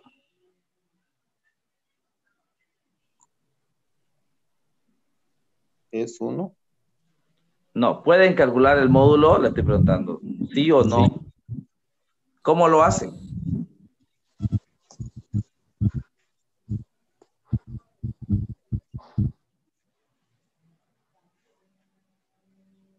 Se le sale por uno ida y se le Teorema de Pitágoras. Pitágoras. Pitágoras. Todos los módulos en cartesiano se calculan por Pitágoras. La raíz cuadrada de 1 al cuadrado más el negativo va entre paréntesis al cuadrado. Ahí está. Entonces A menos B módulo me dio igual a la raíz de 5. ¿Sí o no? A ver. Raíz de 5. ¿Pudimos calcular el módulo? Sí, se puede calcular el módulo de cualquier cartesiano con el teorema de Pitágoras. Ahí está. Ya tengo la resta. ¿Cuál es la operación resta? Es. O estas son las mismas, ¿no? ¿Y cuál es su módulo? Es este. Perfecto. ¿Se entiende o no se entiende cómo restar? Restar es lo mismo que sumar, solamente que lo suma el negativo y para ello lo convierto el de abajo en negativo. Todo el vector cambia de sentido. Y luego procedo como si estuviera sumando. Por eso restar es igual que sumar. Solo debo cambiar el signo a lo que quiero restar. ¿No ve?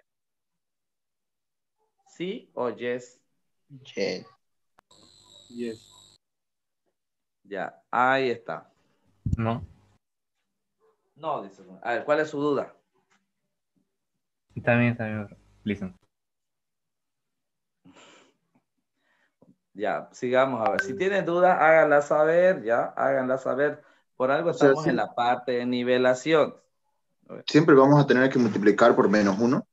Sí, ese es el, esa es la regla. Si se entiende, a ver, hagan ustedes esto. Yo quiero F menos G. Y aquí le pongo F vale, miren, 3i menos 2j más 6k. Y aquí le pongo G.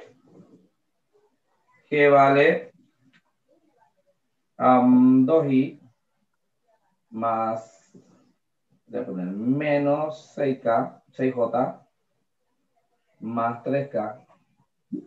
Ahí está. Réstenlo. Es 6, profe. A ver, háganlo. Esto no es 6, esto es G, ya. No, no, en la, la, la F, el último. 5K o 6, que más 5K o más 6K, esto es 6K. Ah, ya. 3i menos 2j más 6k. 2i menos 6j más 3k. Calculen la resta. Quiero f menos g.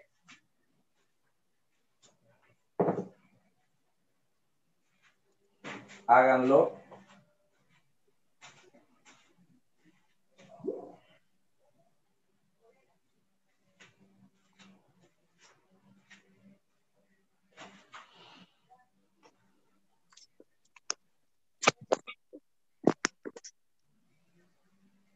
La ¿no? Sin el módulo. La resta y luego el módulo. Ah, ok. Me salió menos 3i más 30j.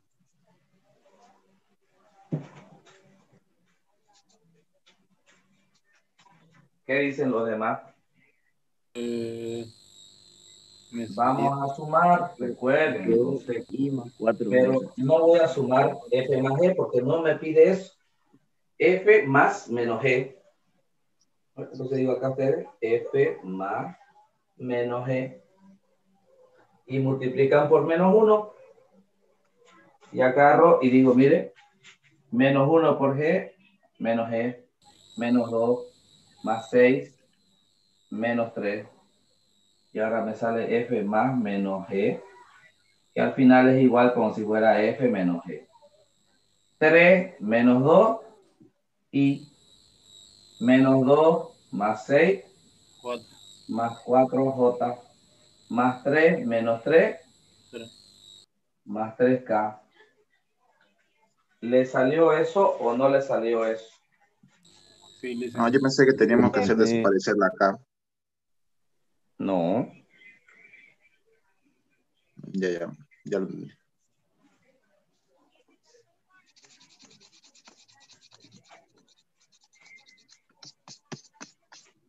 Recuerden que los ejemplos yo le pongo cualquier número, ¿no ve? Cualquier número. Estas preguntas en el examen vienen súper facilitas, vienen, se las voy a mostrar a ver. De 1 y 2 no pasan los coeficientes. ¿Cuánto sale el módulo? Raíz de Sobre el 26. teorema de Pitágoras, digo, el módulo Raíz de sale 26. 1 cuadrado más 4 cuadrados más 9 cuadrados, ¿no? Ahí está. 16 más 9, 25. cuadrados. Raíz cuadrada de cuánto es? De 26. El De resultado. 26. Raíz cuadrada de 26 me salió el módulo. ¿Está difícil restar? No. Lo que quiero restar lo convierto en negativo y termino como si estuviera sumando, ¿no ves?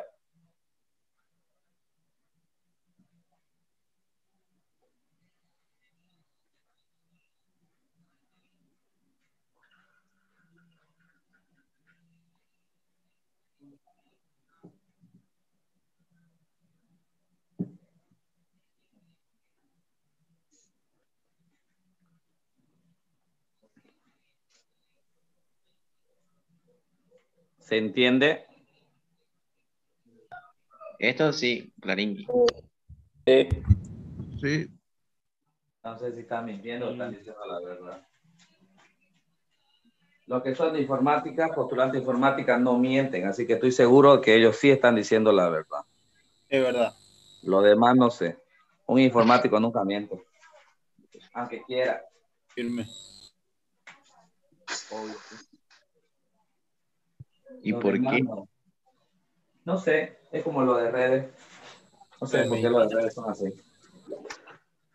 Vamos a ver. Sigamos. Sigamos borrando.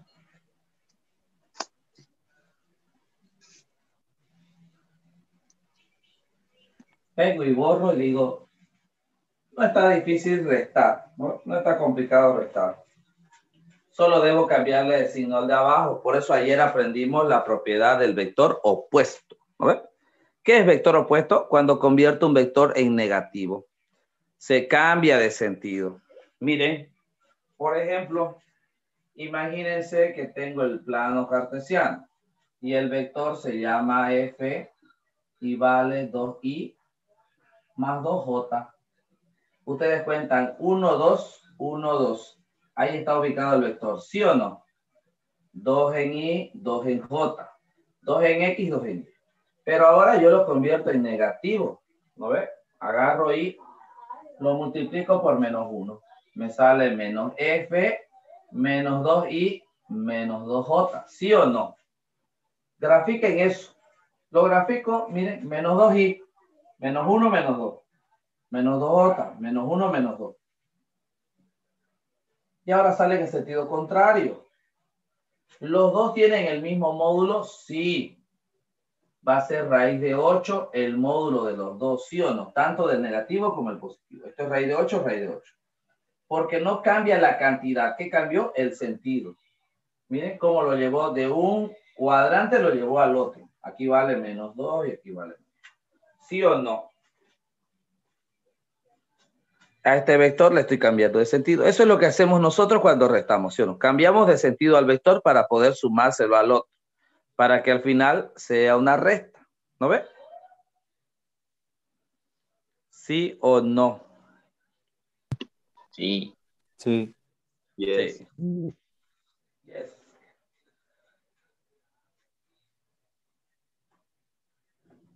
Ahí está.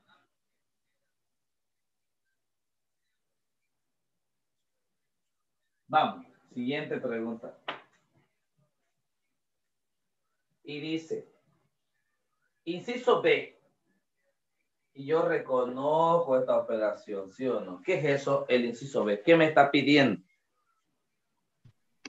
Producto escalar. Producto escalar. Me está pidiendo el producto escalar. Pero no tengo la fórmula porque no puedo emplearla porque ya no está polar. La fórmula es solo cuando tengo la orden en polar. Ahora la orden es en cartesiano. ¿Cómo voy a resolver entonces?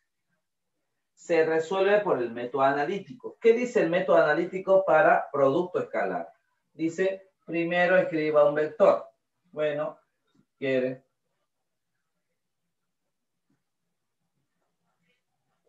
Ahí está. A continuación, debajo, escriba el otro vector.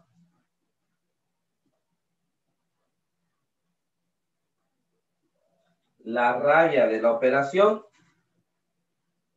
y el signo de la operación que está realizando. Cuando ustedes en álgebra tenían que multiplicar, ¿no? Dos cantidades que tenían tres dimensiones, hacían distributivas, ¿se acuerdan? Este por este, luego por este, por este, luego este por este, por este y por este, y luego este por este, por este. Lo que me iba a dar al final nueve resultados. Sí me daban, ¿se acuerdan? Así multiplicaba. En producto escalar hay una regla que yo lo voy a resumir de manera sencilla. Cuando usted multiplica direcciones iguales, me da la unidad, me da un valor. Y cuando multiplica direcciones diferentes, por ejemplo, y por i es valor, y por j me da 0, y por k me da 0. Entonces me copio aquí. J por j, k por k. ¿No ves? Los que van a dar valor. Y en vez de realizar todo este chorizo, borro esto yo y digo, no voy a proceder así voy a proceder de forma simple.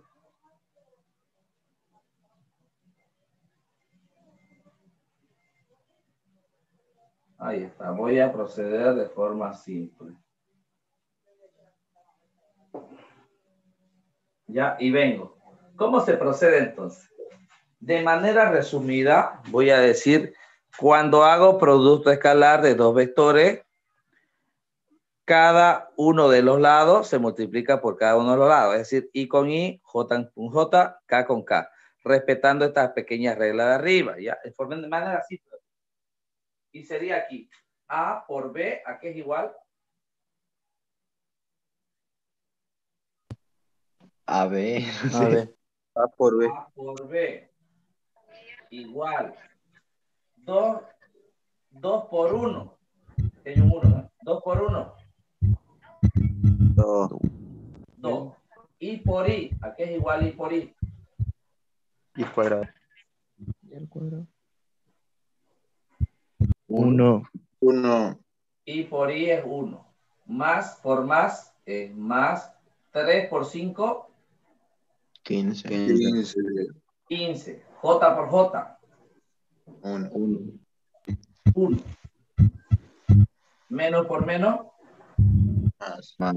Más más. 2 por 2, Cuatro. cuatro. K por K, Uno. Uno. 1. Me queda así y ahora simplifico. A por B es igual a 2 por 1, 2.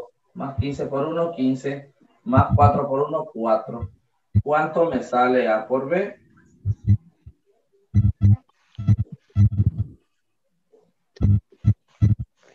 21. 21. 21. ¿Se entiende? No se entiende. No está difícil el producto escalar. Solo debo recordarme que las I con las I, la J con las J y la K con las K.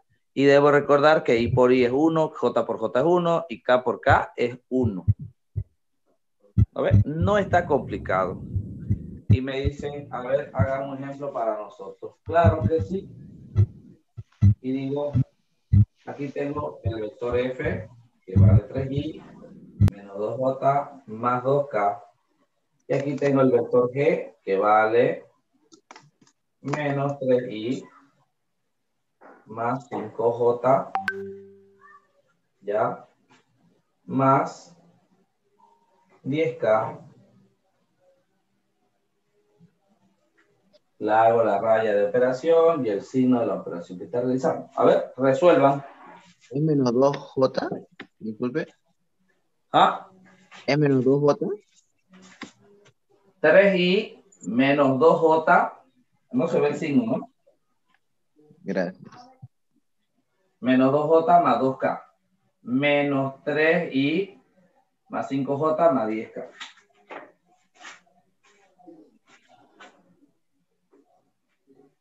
Resuelvan.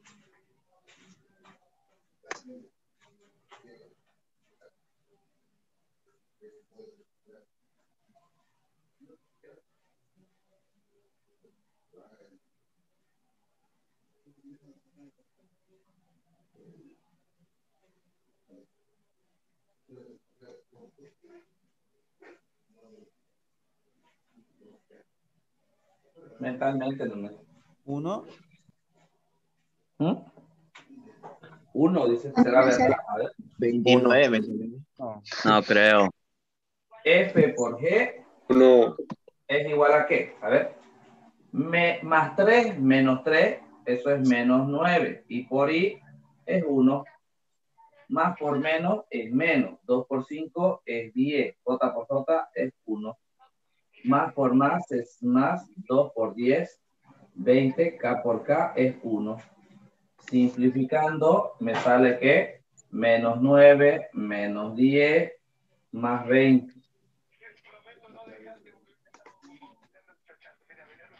A ver. Sí o yes.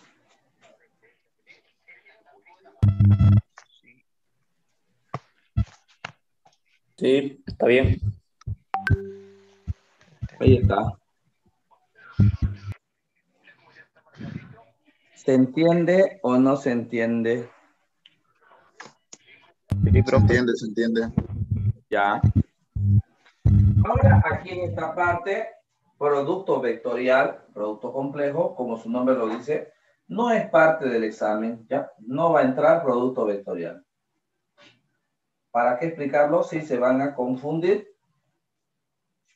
Entonces, ¿por qué lo reemplazan? ¿Qué ponen en su lugar? En su lugar ponen una pregunta media rara. Le preguntan, ¿cuánto vale n? ¿Ya? ¿Cuánto debe valer n?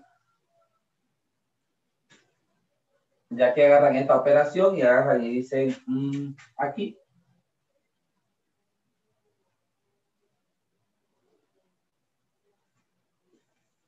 ¿Cuánto debe valer n en este vector para que A sea perpendicular a B? Ambos vectores sean perpendiculares entre sí. Entonces reemplazamos, en vez de hacer producto vectorial, hacen una pregunta de cuánto debe valer n para que ambos vectores sean perpendiculares. Yo ni idea, no tengo ni idea y digo, a ver, ¿qué? Pero antes me explican una regla, una reglita. Dice así.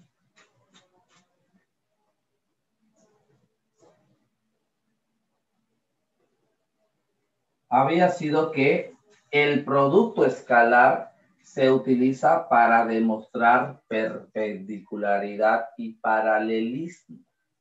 Y me ponen una regla. Cuando usted tenga dos vectores, y haga producto escalar entre los dos. Si el resultado le sale cero, quiere decir que A y B son perpendiculares entre sí. Cuando usted tenga dos vectores y haga producto escalar y el resultado le salga 1, quiere decir que A es paralelo al vector B. Entonces yo me quedo con esta regla. Para saber si dos vectores son perpendiculares entre sí, su producto escalar debe ser cero. Y para saber si son paralelos entre sí, su producto escalar debe ser la unidad. ¿Se entiende? Sí. A ver, ahora entonces vengamos acá, recordemos eso. Me está preguntando, mire, ¿cuánto debe valer n para que estos dos sean perpendiculares entre sí? Y yo digo, ah, entonces usted quiere que yo haga producto escalar y sepa si es cero. ¿Sí? Entonces haga producto escalar. Es una aplicación. Y vengo acá y digo, hagamos producto escalar entonces. Como ya sé hacer producto escalar, agarro, digo A, esto es I, más 3J, menos esa N por K. Y aquí sería B, que es igual a I, más 5J, menos 2K. La raya de la operación, el signo de la operación que estoy realizando, sería A por B, A por B, igual a 2 por 1, 2 i por i. 2 por 1, 2 i por i, 1. Más 3 por 5, 15. J por J, 1. Menos por menos, más n por 2. ¿Cuánto es n por 2? 2N. 2N. 2n. ¿No ves? Álgebra.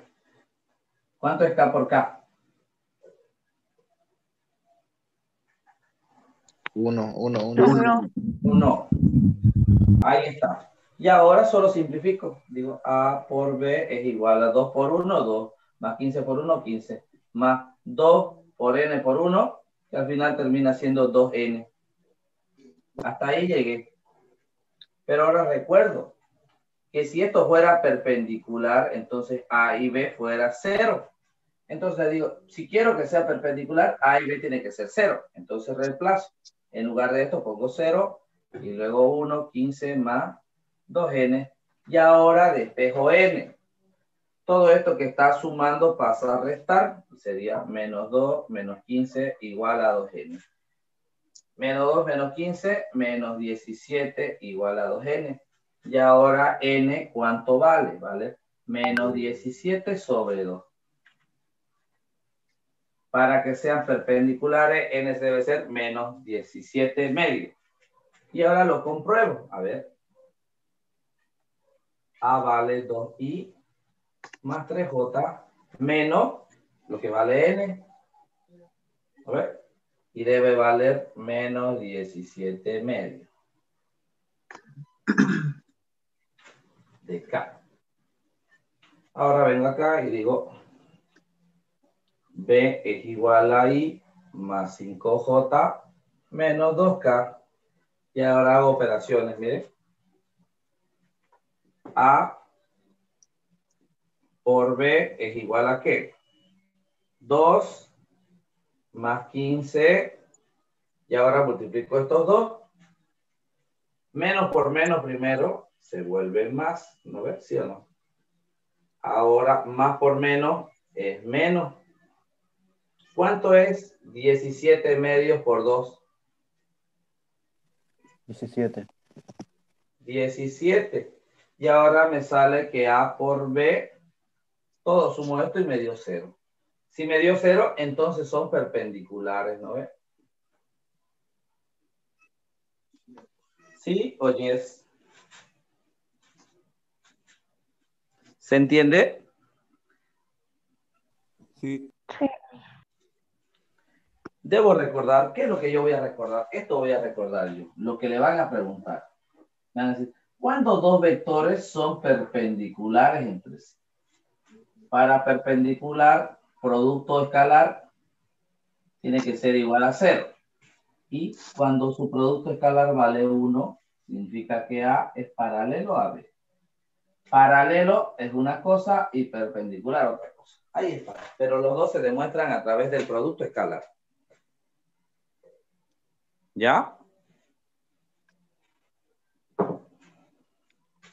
¿Sí o yes? Yes. Ya, ahí está. Vamos a seguir practicando vectores, pero el día de hoy vamos a quedar aquí. ¿Ya? Les voy a solicitar, como tienen carnaval, ¿ya? Les voy a enviar el día de mañana, les voy a enviar al grupo WhatsApp una hojita para que ustedes practiquen vectores en lo que les queda de, miren, viernes, digo, sábado, domingo, lunes, martes. Cuatro días tienen para, solo quiero que sumen, que resten, que reconozcan entre producto escalar y el producto vectorial la formulita y que reconozcan la formulita de ley de los cosenos, ¿ya? Todo lo que hemos visto. ¿No ve? ¿Se entiende? Sí. Yes. Oui, Yes, yes, yes. Bueno, quedamos ahí entonces, ¿ya? Vamos a quedar ahí. Feliz viernes. No beban poco o no beban mucho o beban lo suficiente, como, como es, no sé. Nos vemos. Nos vemos, Licen. Hasta luego. Hasta luego. Cuiden carnaval. Eh, no quiero Chao. terminar a la sala, entonces se lo voy a pasar a alguien el ADM. ¿Y a quién está en computadora y que no sea tan fregado? Firme, firme. Cristian dice. A ver, ¿quién está en computadora? Cristian dice que está en computadora. Yo le enseñé a computadora. ¿Cuál dicen? ¿Qué, ¿Quién dijo eso? ¿Quién dijo? Becerra Campos, Pablo Magdiel. Ya, a Becerra le paso al anfitrión. Ya, ahí está. Lo esperan al profe. Ya, tómense un recreo. Antes. Ya, vuelvo. Nos vemos.